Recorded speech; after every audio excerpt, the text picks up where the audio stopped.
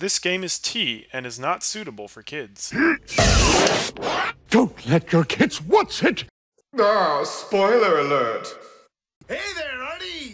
And gas. And then he tases us. hmm. This guy kind of looks like the Steel Samurai, don't you think? Maybe it's because they look alike that he was picked to be the Goodwill Ambassador? I suppose that's possible. Hmm. Take a look at this area around the base of his neck. It looks like a gap. Hey, you're right! Maybe it's meant to be some kind of secret? Perhaps it's possible to open the statue from this gap in its construction. What? Hurry up and open it, Miles! Alright, here goes. Wow, it really did open up. Hey, what's this thing that fell out? Hmm? I believe a more thorough examination of it is required. Right now, because I am sitting kind of far away, it just looks like, um, you know, like, A Toblerone bar.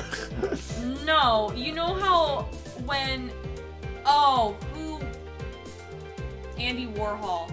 Yeah, like, yeah, makes- the, the Marilyn Monroe portraits. Yeah, where it's like different colors, Yeah. but it's the same picture. It kind of looks like that. Or someone's like private, like, we got our cute photo booth photos together, but we don't want anyone to see. What in the... Is this... What's that? Hey! Is this what I think it is? It's a plate for making counterfeit bills. Oh. Somehow, it appears that we've at long last arrived at the exit to this complex labyrinth. We finally hold within our hands one of the counterfeit money plates. And the reason why the replica was smuggled into Allebahst to begin with. Counterfeit plate data added. The primitive statue can only be handled by the ambassador or the secretariat, and the replica is nothing more than a hollow shell covered in gold. These two circumstances make the statue an ideal object in which to hide contraband. After receiving the statue containing the counterfeit plate from Shih-na, the ambassador had the misfortune of accidentally running into Damask II. Surprised by the thief, the ambassador raised the replica statue at Damask II and, He's spry. Then in order to frame the steel samurai of the murder, he covered the st- samurai sword in blood. Well, Ambassador Alba? Why are you so quiet, man? You're the leader of the smuggling ring? I love that. My but- country is a mess, and it's be- all because of you? You're the one who killed the Damask too? Answer us! He's not gonna talk. I never thought. I never thought that you would figure things out to this level. Takes off his old man hair uh, and beard. He's just like a totally young looking hip guy. However, there is one point I disagree with you on. The head of the smuggling ring was. Mr. Coachen. Quit screwing around! I have no sympathy for someone who would try to pass the guilt onto a dead man. There's one thing I'm sure of, it's that you're the real ringleader, Quercus Alba. It's not good to speak with such subjectivity, you know, Agent Lang. Subjectivity? My conclusion is anything but, and is the result of logic and investigation. Logic and investigation? Only seconds ago you were ready to arrest Miss Von Karma!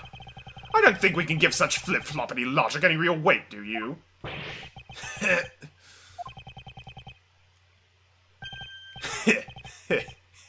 it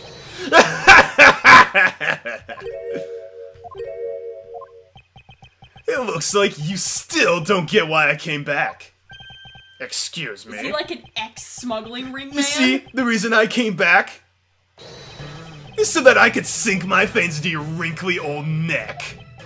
From the very beginning, my real target has been you. What is happening? What?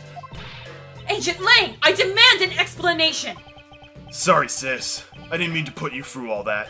I knew it. I knew he wasn't actually. I knew you were innocent from the very beginning. Nice. You did.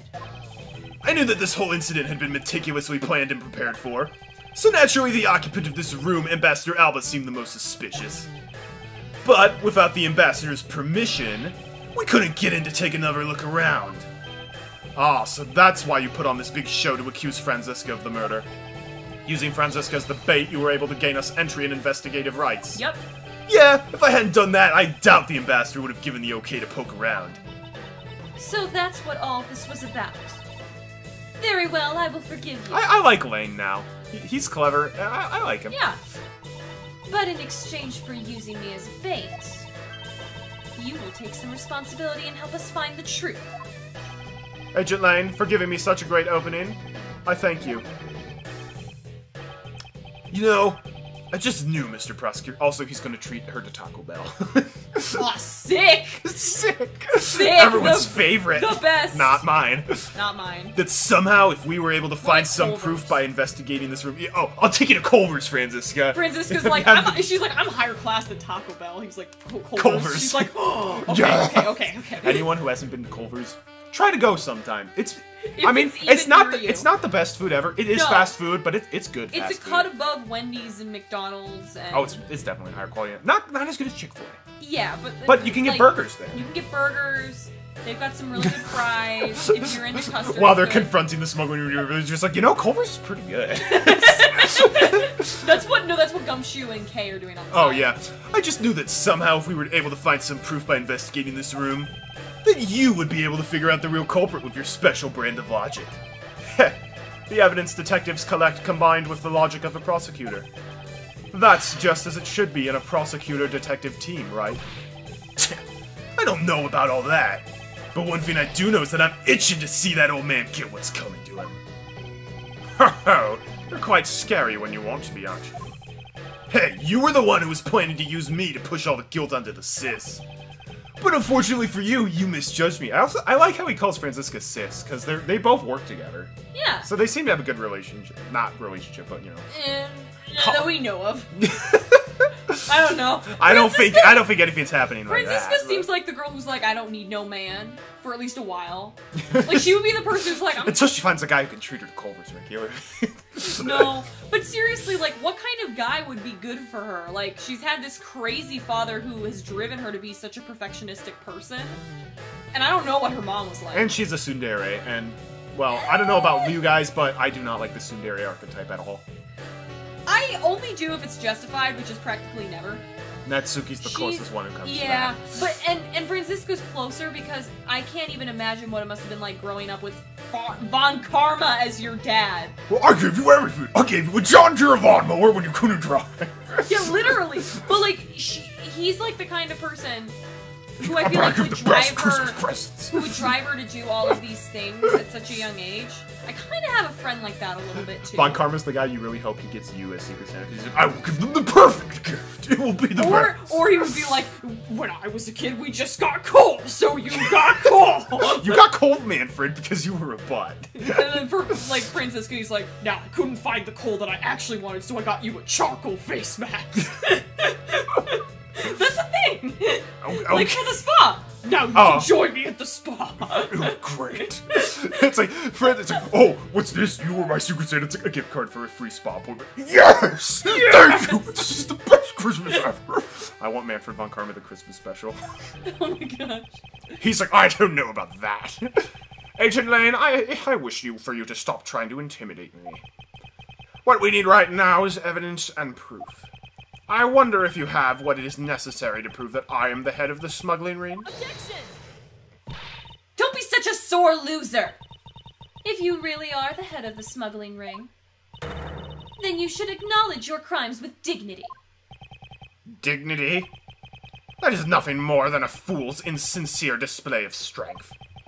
If you really wish for me to acknowledge my crimes, then I would like you to first see some of this thing you call evidence. I tell you, I knew nothing, really. I didn't even know that a counterfeit plate was hidden inside that statue. Oh, right. You swapped a real statue that vested in your country the authority to rule for a fake. It doesn't make any sense that you didn't know anything. It doesn't make sense? Where doesn't it make sense? Can you prove that it doesn't make sense? Ugh! He's really got us. He's turned the entire situation around against us. He's good at that kind of thing. I want him to just open his eyes. The proof that Interpol has been after, which points to this man as the ringleader. If we can somehow find that proof now, then we can see to it that justice is finally served. Is there nothing I can use to break this case wide open? Referencing previous cases. the trump card and the videotape. With those two items, we might be able to finally bring this man down. But the card is evidence from a case that Mr. Faraday hid away in secret. And the tape was stolen by Detective Badd from the police. They're both illegal evidence. No matter what, a, a protector of the law can't be allowed to use such pieces of evidence. Needless to say, we Von Karmas are commanded to achieve nothing but victory, He's back. and by any means necessary. The only way to bring someone like that to justice was to do so outside of the courts. Well, it's outside of court. That's what we thought at the time. I no longer follow the path of Manfred von Karma, and I won't follow the path of the Yatagarasu. This leaves me with what? What creed will I believe in? So is this in the midst of him coming back to eventually take on right again? Like, remember when he was like, "Oh, I'm gonna be in Europe," and then it's like the man Edgeworth chooses death or blah blah blah. No, this takes place after Trials and Tribulations. This is like the fifth time I've said this. I know, but it would have made so much more sense if he's like, "I'm a changed man," right? Because he's had like five cases in two days. That that could have been an interesting way to do it as well, but that's not how it, they did it. If I want to pursue the truth, then I will sully my hands in illegality. And if I want to pursue justice, then I will lose the truth. What is the law and what is justice? And which path is a prosecutor supposed to follow? Man, remind me to put this in my list of monologues for auditions. That choice is one I must make by my own hand here and now. Use the trump Oh! card, don't Is use the trump card. Is this another game with multiple endings? I actually don't know. I was always just like, yes, yes, use it. Use Okay, it. let's try not using it then and seeing what happens. Game over. I am a prosecutor, and I can't allow myself to use evidence such as these. Mr. Edgeworth, if you don't do something, Ambassador Alba's going to get away with it. I know, but Objection! What are you holding back for? The only thing a von Karma should pursue is the perfect proof. and these aren't perfect proof. If you really do have what it takes to complete our argument, then there is absolutely no reason not to use it. Mm. Lang Zi says the reason people judge people is because people are people. People weren't born to be chained to the law. Laws were born to protect the people. You're the only one here right now who can put this guy out to pasture. And that is the only way a second or third generation of Zheng Fa's people will be born. He's like, I'm not gonna get married. Can you really still hesitate knowing the fate of a nation rests in your hands? I. There is no limit to the law. Any limit that exists was set there by man. Oh, and this wraps around to choosing the trump card. Okay. When a person goes beyond that limit, then the law too crosses into new territory. For what reason were laws invented? The answer to that is what I must now show. Ambassador Alba, I wonder if you might recognize this. Oh, I, wonder what that card is. I've never seen that before in my life. It's a directives card used by the leader of the ring to relay messages to his subordinates. Well, have fun. Oh, is that what it is? This card was sent to the real culprit behind the KG8 incident 10 years ago. A man by the name of Mr. Manny Coachen. Oh. So why do you have such a card in your possession? Because it was hand delivered to me by a certain great thief, the Yatagarasu. The Yatagarasu gave that to you? Don't talk nonsense and let's be serious, Mr. Edgeworth. Do you have any proof that the card contains directions from the ringleader? I'll have you know that the card is not the only thing I was given. What? This contains security footage that was shot just before the start of the KG8 incident. The KG8 incident? The card in the video? These two pieces of evidence are what will seal your fate. Oh, very interesting. I must admit I am very curious now. Very curious indeed in these case-deciding pieces of evidence you've presented. The prey the Yatagarasu has been chasing all this time now stands before me. I can't allow this man who has had free reign for ten long years to simply walk away. Now is the time for me to bring to fruition the valiant spirit that was given to me. March 15th, 1.34 a.m., Theatrum Neutralis Man, lobby. they had a long time talking. So what is this interesting thing that you wanted to show me? The trump card And the videotape. Oh, that ugly guy's there too. That's just the guard. Uh, he's he's wearing a got- hat. Oh, I thought that was his head and No! hair. That's his hat! oh, It's like the British Royal Guard. I thought he was just super ugly. Oh, Marty! I'm sorry. I thought he looked like um Bib Fortula a little bit. I guess if you squint and look from far away, yeah, you can kind some of. of it is I'm looking at the top screen and not the bottom one because I feel like it's more obvious on the top one. Oh, These yeah, two no. pieces of evidence together make for the ultimate hand. And this is where the real meaning behind Detective Badd's words will be realized. Detective Gumshoe? Yes, sir! Here's Manny Coachen. What you see here is security footage shot just before the KG8 murder occurred. From this footage, we know that the card is a directives card from the smuggling ring. This is the section that proves that the card was used to relay an order. Oh, yeah. Let me lean forward. Um. Oh, because he's carrying it in his right hand. Pretty obvious, yeah. I couldn't see from far away. As you can see, Mr. Coachen is holding the card in his right hand. I see. The killer is indeed holding a card with the exact same design on it. But that card and the one you have, just because they look the same, doesn't mean that they are, now does it? Ah, but there is very a very easy way for me to prove that they are in fact one and the same. All we have to do is simply take a look at this.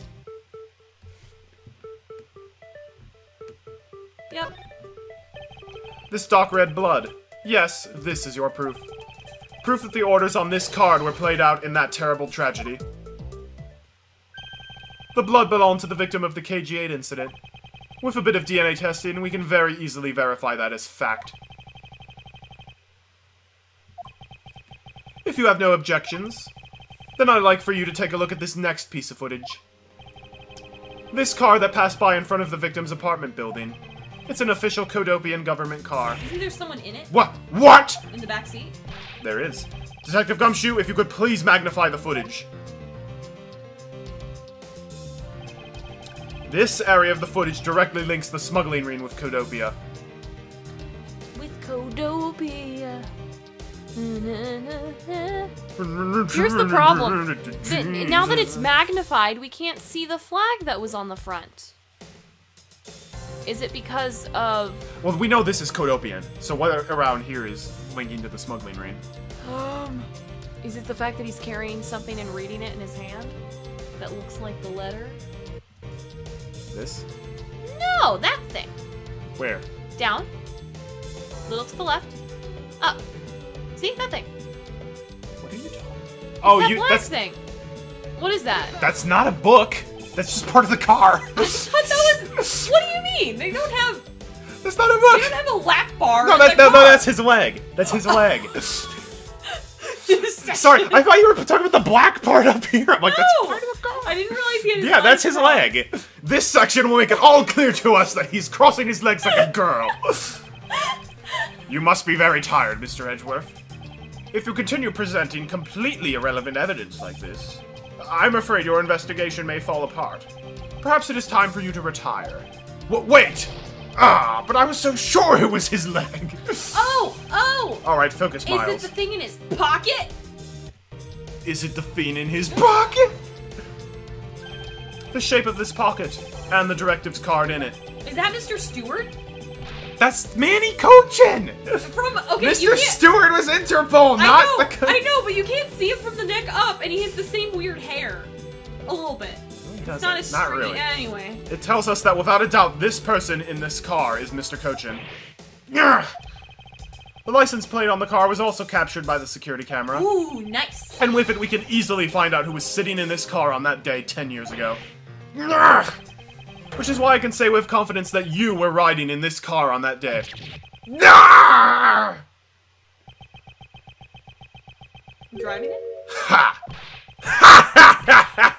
Everyone loves to laugh. We love to laugh. Oh, oh, oh. He can stand tall. Oh my gosh. You've done well, boy, to make it this far. Wait, what is his name? However, about your claim that I was riding in the car at that time, Wait, wait. That's going to be mighty difficult to prove. We have to talk about him for a moment. Quercus Alba is evolving! that's a meme Yeah, from like, game. is it? yeah. He looks like he hopped out of Frozen. A little bit. Also, this music. I think is, it's the this color. music is epic. I need to turn it up a bit. Oh yeah, he does sound like. Also, he's not like, look at all the medals I've received. He has the worst beard. Just saying. And some of the he opened his eyes. He did open his eyes. I'm very happy. His green eyes. Also, um, yes, you could land a plane on that nose. yep. How so? He's a Lego brick on his shoulder. Yes, he does.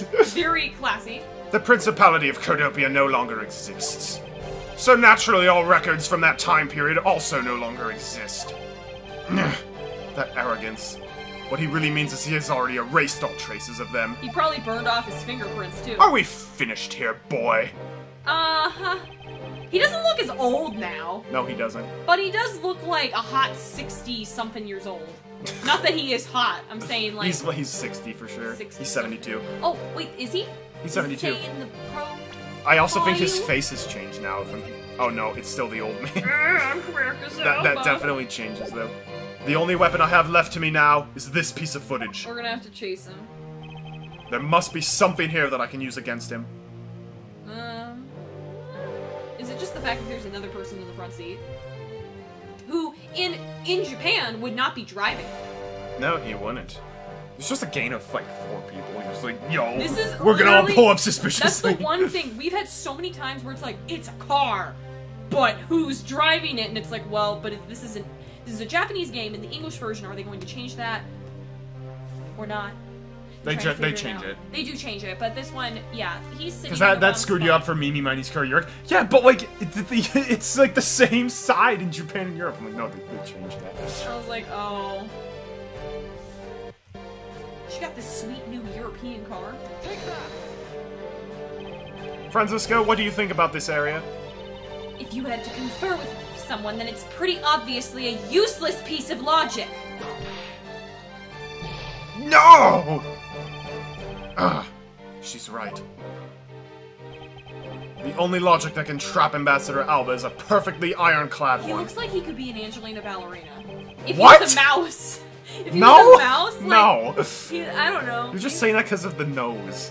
No, no, I'm not. I'm just saying it because I'm like, I want to see him as a Fire Emblem villain or like a villain in Sailor Moon.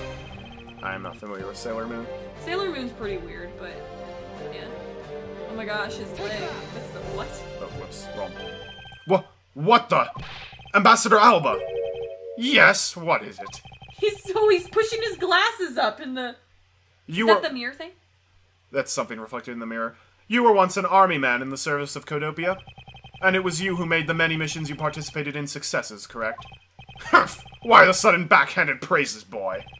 Although, to be sure, the brilliant medals on my breast were awarded to me during the area of Cohdopia. Era, sorry. but now I am the only one who owns this particular medal. In that case, the only person it could have been, it was you sitting in the car. How do you figure that? Ooh. by the medal captured here in this footage. It is clearly the same exact medal as the one on your chest. What? Whoa. Why is there suddenly black stuff on his face? His like, skin was chipping away. Oh, I thought it was like blackheads suddenly popping up due to stress. Nope. that was my brain. this is how it will be, but I won't look back. For this is the path that I have chosen.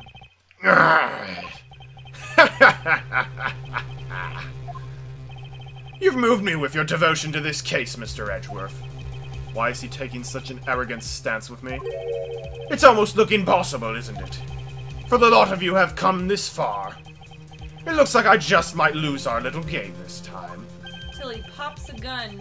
You might lose this game this time. Pop goes the You don't get another round, Mr. Ambassador. Is that a fact? Very well. I've decided to confess and admit my guilt, You're going to confess? And I will accept whatever punishment there may come as a result. What the? Regarding the Damask 2 murder, I admit it. I did it out of self-defense. You're claiming it was justified self-defense? Damask 2 attacked me, and I felt that my life was in danger. If I hadn't done what I did, I might be the one who you found dead instead of him. what a prophetic performance. I'm not giving you one. Wow, you two really know how to laugh at inappropriate times. If you wish to claim it was justified self-defense, then we will need some evidence. It's always the evidence with you, isn't it? But if that's what you require, I'll provide it. You're, you were the one who's like, you need evidence, you need evidence. He's gonna like give us some. Uh, that man left a mark on me when he attacked. What? I don't particularly want to show it off. it's on his butt or something. he got That would be not be a T game. that would be an M game. no. It's like he got slapped. I don't know. Or maybe maybe it was. He slapped my butt. I had to kill him. I mean, it could be something stupid like that. It really could. Wow. I don't know. What else would it be? Where else would it he get hurt that he wouldn't want to show? Oh my shoulder. I think he just doesn't want to show the wound. Oh my gosh, my shoulders, they're so scandalous. They must be covered up at all times. but this is proof that it was in self-defense. I'm an old man, and sometimes I don't pay enough attention to when I should. I think he just like self-harmed probably. Oof. Uh, well, no, like to, to come up with an excuse for this. That's why not with a knife. Well, maybe with a knife. It's a good thing I have to take diabetes shots. wait, wait. Did he do blunt force trauma to kill Damask, Damask yeah. Maybe he was like, and then put the sword on with his own blood because they didn't test the blood to make sure it was Damask 2's blood. Yeah, they did. They did. Yeah. Maybe the forensics guys were paid off by him. Two 20s. Two twenties, and then it's just his blood on. oh, I have to. I have to speak. I just realized it's my turn. But Damask Two didn't have a single weapon on his body. Stop. Hold on. It's nothing to get worked up over because I hid the weapon. You hit it. I'm sorry, but as you know, a murder is a murder, even if it is in self-defense. And I couldn't let it become public, seeing as how I am an ambassador. No, if anything, you should have. This is the weapon you seek? My special bonsai trimming shears. Uh, it's covered in blood. He was trembling quite badly during our struggle. Well, that's when he grabbed the shears that were sitting in my office and attacked. He doesn't have a plant with that. So you see, it was an act of self-defense. He? Right, Mr. Edgeworth? Since he has both a wound and the weapon that caused it, it's enough to declare it so. No. Amp Alba's wound data trotted die. I don't want that in my journal. Look at his creepy smile with it too. Again, it's like Fire Emblem 7 when he takes off the turban, he's like, Pah! No way. oh, which reminds me, I guess there is still one more accusation I need to resolve. Smuggling and counterfeiting. Unfortunately, all of that is my secretary's doing. I had no knowledge it was going on. Who's your secretary, bro? Manny coach. he was both. He would be both, which would be stupid. I basically. this is like the Zac Efron meme where it's like, who's counterfeiting all this stuff? He's doing like the shoulder shrug it's like, Palaeno, Alba, Manny Coachen. Really? I will have to see that later. no, I, that's not a meme. That's Oh, you want to make it? Well, no, it's just like you know Zac Efron, like the meme where he's like, Yeah. shrugging. Like, Shrugging. it's like that. Oh. Stop spewing nonsense. You're trying to throw my investigation under the bus in your desperation. If you want to get real honest, everything in this case can be connected to you. The murder of Damask 2 was done in self-defense. Whip him. In my trials, no man escapes his crime alive. Perhaps so, if you were my opponent in court. However, there is one very important fact that I think you may have forgotten. And what is that? He's like, I'm a man of power. Ah! Ah! Ah! That's what you mean. Extraterritoriality. What? That's right. The embassy sits on what is effectively Allebahstian soil. So any trial that is to be held will be held in Allebahst. Therefore, the crime I just admitted to will never be tried in your courts. Agent Lang, what is Interpol's stance on this? Agents investigate. That's our job. The judgment of people who have confessed to their crime, that's the court's job. Gah! Maybe we can drag Ambassador Alba to the ball and make Drag him. Well, because he's not gonna want to get off of his soil. This is like, um, it it all goes back to capture the flag. There's your neutral territory zone. No man's land. And then there's like the individual thing, and the best way to get someone is to get them to cross to your side, tag them, and put them in your jail. So it's like, hey, uh, Ambassador Alba, I heard there were free burgers in the bar. oh, Oh, boy! oh, boy! You're trespassing under arrest. Yeah. By the way, we're gonna try you for the murder. That's not how that works. I mean, kind of, yeah. And I've already confessed to my crimes, Agent Lang. No, you haven't. Furthermore, by the very nature of my position, I'll have full extraterritorial rights. These rights are effective even on your country's soil. Therefore, no matter where a crime may take place, I will never stand trial in one of your courts. Ugh. That arrogance in your expression. That's nothing like the face of someone who's ready to accept the consequences. Don't tell me you have your own country's judicial system eating right out of your hands. These crimes you all speak so seriously of. To me, this has all been nothing more than a game. It is a game. It's called Eight Miles Edgeworth's Attorney Investigations with Quercus Alba. That you may chase me out of this embassy with your accusations, but it's no big deal. Allebahst has numerous other embassies in other countries around the world. All you would accomplish is you would change the backdrop of our little game. These two layers of protection that extraterritoriality provides him. This is why he is one of those who cannot be brought to court. yeah, that's fine. You see now, don't you? I live in a whole different world than you. The game ends with us just like killing him in secret, and then we make another. we make another. Um, And that's what the second game is about, you escaping from the law. no, we make another. that's why it wasn't in? Nepal. It was not in Nepal. Sure, you make another Yatagarasu troop, and then this chick, uh, Kay, comes back, and then Von Karma has nothing to do with it. She's because she's like, I'm the protector of law, whatever. And then you're all on the run. So it's it's Edgeworth, Kay, and Lang. Yup. Yatagarasu, you think? Yep, the new Yatagarasu. Now, if you'll excuse me, I need to go and fetch your fetch your eviction papers. He's not hunched I love, over anymore. I love how his guard's just like, normal day at the embassy, guys. he ripped his staff to pieces again. We'll have to get him another one. Ah, Poor Master Oogway and his staff. He stole it from the real Oogway. ah, is there nothing we can do? No, there's not. That's the end of the game. No. it's to be I continued. not There, I think there's still more. Like two more parts. I, I think there's end. That was end part one. I think there's still end part two and end part three. Yeah, we end up chasing him into jail, and then before he gets admitted for the courts, Because like, this this is where the game really drags on. Because it's like we all know Alba did it, and it takes like five hours to bring him down, and he's just not a very cool mm, villain. he's kind of He's just like I have a nose, and I'm arrogant, and flash my medals in your face. yeah.